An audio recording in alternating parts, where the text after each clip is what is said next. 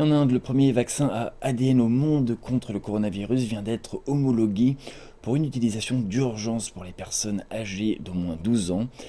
Développé par Zidus Tzadilin, c'est le deuxième vaccin local en Inde, après le Covaxin de Bharat Biotech.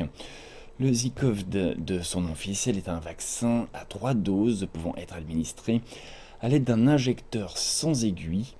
Il s'agit du sixième vaccin homologué en Inde. New Delhi vise à vacciner sa population éligible d'ici la fin de cette année. À ce jour, les autorités sanitaires affirment que 9% de cette population est entièrement vaccinée.